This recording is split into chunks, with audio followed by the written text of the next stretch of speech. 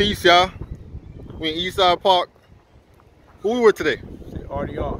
RDR? From Alabama Project. Alabama Projects. Right over there, right? Yeah. Yeah. It's no longer there. I live on Ellison County on the senior citizen building with my mother. I take care of her and she take care of me. Okay, okay. I finally got better, y'all. I was sick for eight years. Thank you for y'all prayers. God is truly good to me. Now I'm a personal trainer and a male exotic dancer. I don't take my pants off. I just take my shirt off for the ladies. So if you want to get to know me, my number is 862-306-0455. Call me anytime, but don't call me with no BS. All right? God bless. So you call call them on some personal training too. That's right. You know what I'm Personal saying? training Business. and dancing for the ladies. Business. Yeah, I train men and ladies. You know, I don't discriminate. Anybody that can pay $25 an hour, I got you. And then if you turn out to be good, I'll break it down to 15 for you. And if you don't get no results in six months, you have all your money back because I make sure you fill out a contract, okay? Love y'all. Peace. Alright. So you, you got any type of little like I want to see you do some work, man, like some pull-ups, push-ups, Oh, like you got I'm any of that for us? at the park. I I do workout, but I haven't done pull-ups because my back is messed up. Yeah. They say they want to operate, but I'm not gonna let them operate. God gonna heal me with these herbs that I take. But I'm gonna show y'all something. I only can do maybe four or five pull-ups, but I'll get down and do some push-ups with my workout stuff in here, and I'll show you everything that I do at home and when I train people. We're gonna start now. That's the that's the weighted arm. This is all my equipment that I train. people. Oh, uh, and I thought it was weights. No, this I got weights in here too, but not heavy weights. Two pounds and um, yeah, two pounds and one pound. I'm gonna show them right now.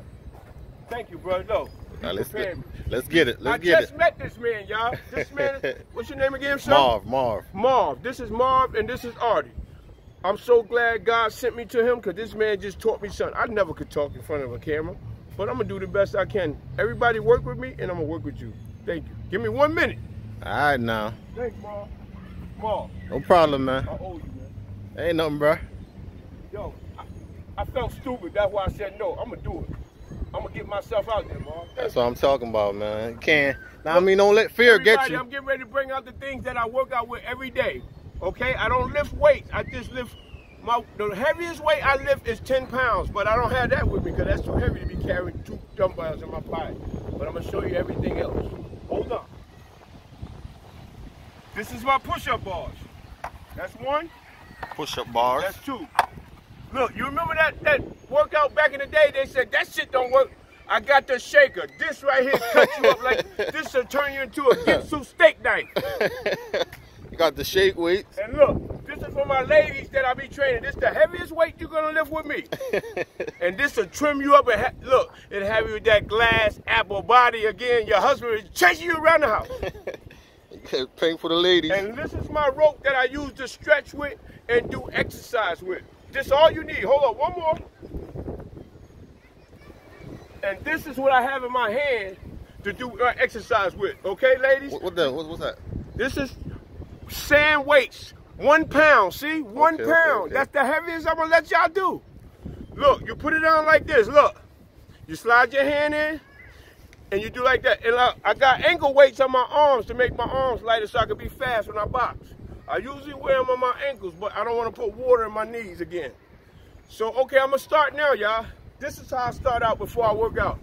You always have to stretch. Stretching is the most important thing. If you don't, you will pull a muscle and you won't want to work out no more. Please listen to me.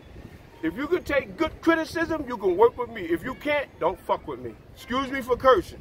I gotta keep it real. Um, gotta keep it real. Here I go. This is Artie Nixon doing his thing right now, okay? Here we go.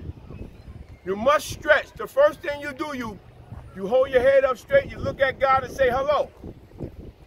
And then you bend over slowly. Everybody, remember, bend over slowly. Look.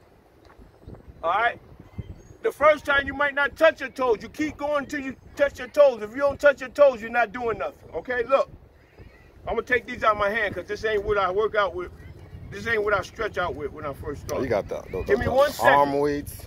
Give me one second. This all I use. I ain't y'all. even peeped that. Look, you know I used to be a fat person. The people that know me, How heavy were you? huh? How, how heavy were you? I used to be 290 now. Before y'all, before this, before I got sick. Oh, all right. Guess how much I weigh now? You guess yet? I weigh 210 pounds solid.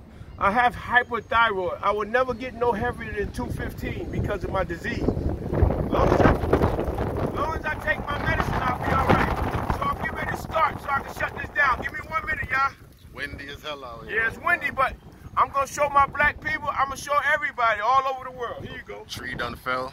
The tree fell already? A little, yeah, half of the top. Okay, here we go, people. Look, the first thing you do when you before you work out is stretch, okay? And when you first wake up in the morning, don't eat. Brush your teeth and drink water. For the first hour, just drink water. That's how you lose weight and develop your body.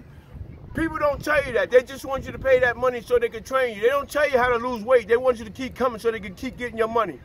I'm going to train you for six months and you don't have to do it no more. You do it by yourself. You don't have to keep paying your money. If you don't get results, I give you all your money back. You sign the contract before we start. If you don't sign the contract, I don't work with you. So if you get hurt, it's not my fault. I'm going to teach you the right way. Here we go.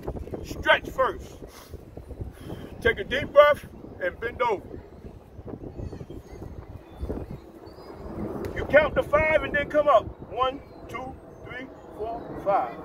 Slow, not fast, slow. I always raise my hand and say thank you to God because of what I've been through, okay? Thank you, Lord. That's one. You don't have to do no more than five to 10 stretches, and then I'm gonna show you one more.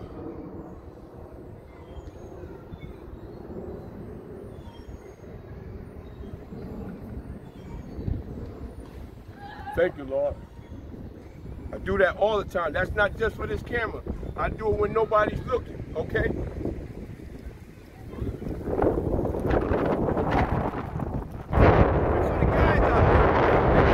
See your legs, legs. See how my legs match my body. Without your legs, you nothing. Your legs are your foundation.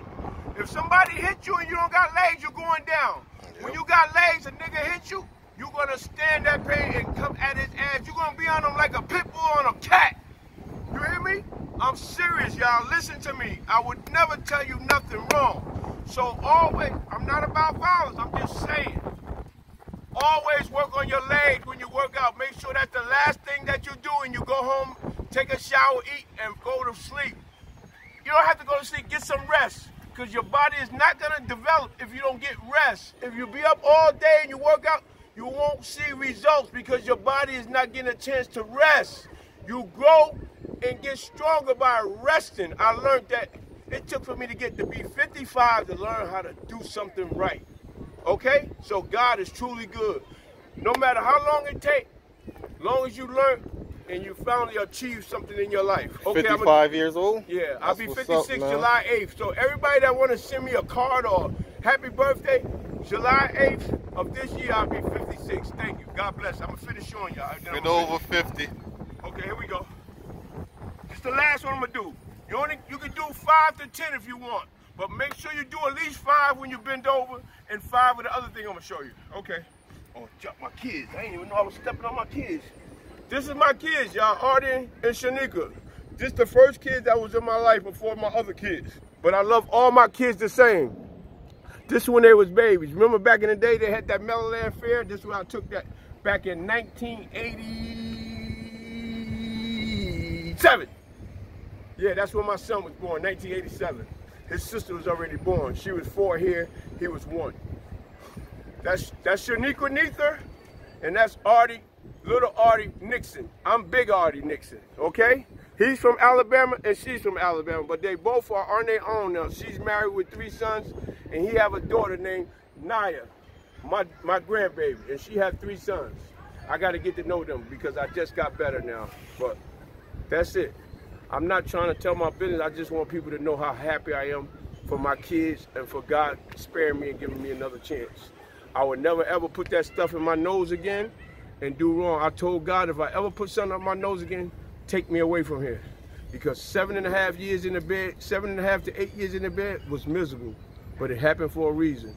Maybe I would have got killed because I was running wild out here selling drugs and disrespect, disrespecting people and women.